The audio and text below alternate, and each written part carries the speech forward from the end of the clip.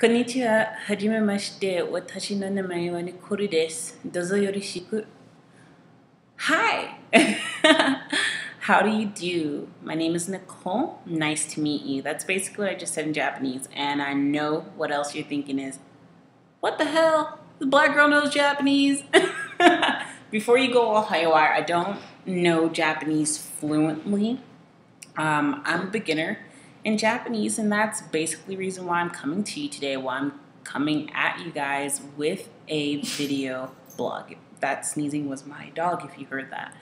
Um, I just wanted to start this basically to get in touch with other people who have an interest in learning Japanese, also to help teach other people um, Japanese and to learn from those who know more Japanese than myself, and especially from native speakers. Native speakers are always welcome here to help teach me more about Japanese and other people who um, have drifted or wandered here. Come here, doggy.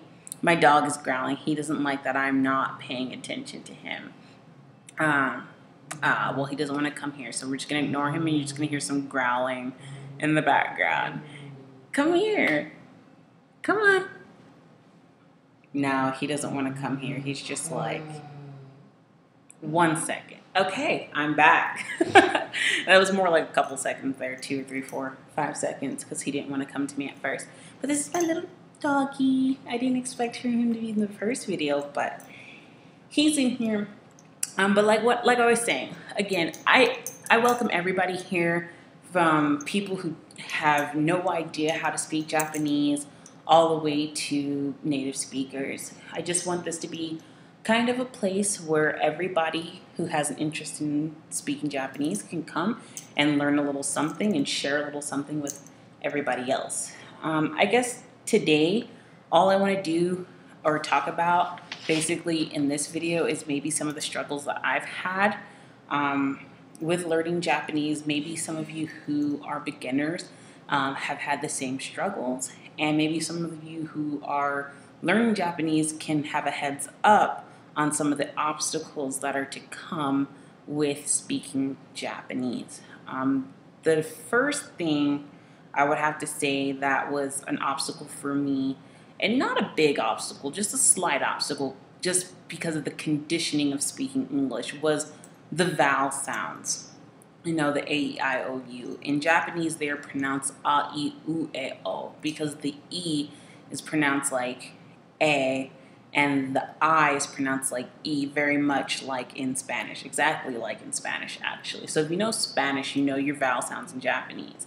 Um, so sometimes when I see an A, I want to say, I want to pronounce it A, and when I see the letter E, I want to pronounce it E, even though I know that's not the right way. So that's probably a little obstacle that you might face being an English speaker. Um, the second obstacle um, also has to do with pronunciation, and that would have to be with the double vowels and the double consonants. Not so much the double vowels as the double consonants. Uh, the double vowels are really easy. You just like elongate or double enunciate the vowel, like in obasan and obaasan. Uh, one means aunt, one means grandmother. and without you holding out that, that A, it means, ah, sorry, I'm getting attacked by my dog. One means aunt, of course, and another one means grandmother, just from holding out the A sound or shortening the A sound, just making it oba and oba. Okay, um, and then the consonants. The consonants I still can't do. I'll try. Uh, I guess an example could be the difference between um, kite and kitte. So kite is uh, it means to come, and mine's out of the gutter on that one. Okay, I'm just I'm gonna catch that one right now. but it's uh, I think it comes from uh, kuru. Yes, exactly. See, my Japanese, I still have to really think about it, but um, kite is the te form of kuru, which means to come, like come here, or to come over. Um, and then there's kitte. Oh, I sound that sounded weird. Okay, let me do that again. Kitte. There's a pause in between the T's. It's spelled K I T T E. Kitte. Um, and that word means stamps. now, I don't want you to ever start speaking Japanese and then being like, you can stamps to my house. People will be like, what? You really need to say come. So kite and kitte are two different things. Um, also, what else have I had trouble on as far as like Japanese goes? Uh, sentence structure. Yeah. Oh my God. Sentence structure. Um, in English, we usually do, I think it's uh, subject, verb, object. Um, and in Japanese, it's subject, object, verb.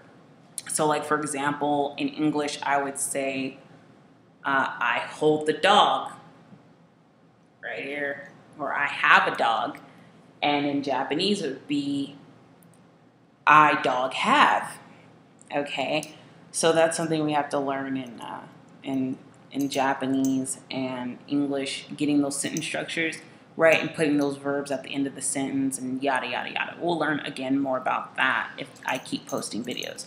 Another thing that's definitely kicked my behind in Japanese is particles. Oh my god, especially wa and ga. I will definitely, if I keep doing videos, will do a video specifically on Wa and Ga. I've had foreign uh, people, or not foreign people, I have had native speakers explain the difference of Wa and Ga to me, and even they seem like they don't know what the hell they're talking about. So that's cool.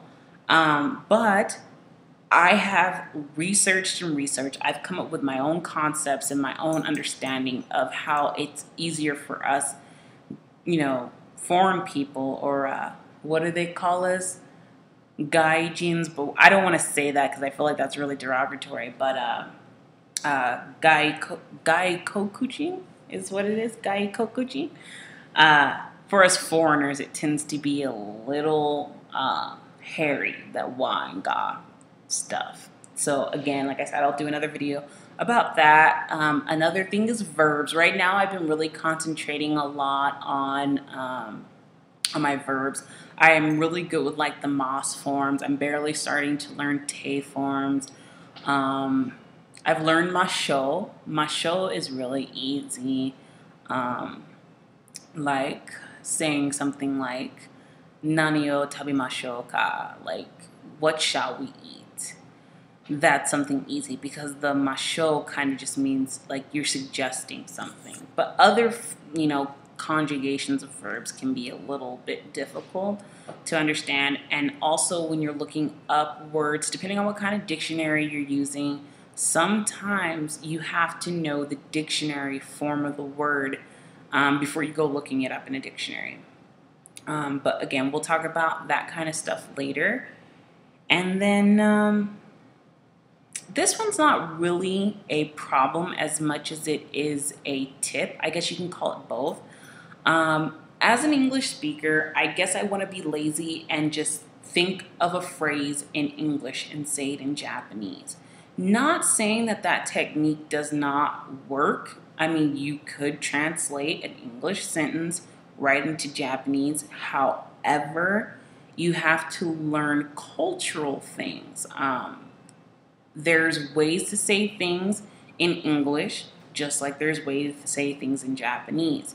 Um, so I guess like an example would be onaka ga suiteimasu, which of course, sorry for all you native speakers out there that are like, oh my god, she's like using such polite, polite dictionary form. I, I am using a very textbook sentence just because, I mean, for us foreign speakers, we do need to know that form before we can start speaking, you know, in the more casual sense. But onaka ga suiteimasu. Um, if you look at that, it will say that that's how you say I'm hungry in Japanese, but there's no word in that sentence that means I am. Um, suiteimasu can mean hungry, but if you really break the sentence down, onaka actually means stomach or tummy um, or belly. In English, I would never say my belly is hungry or my belly is less empty, which is what suitemas means. Suitemas can mean less full, transparent, or to be hungry.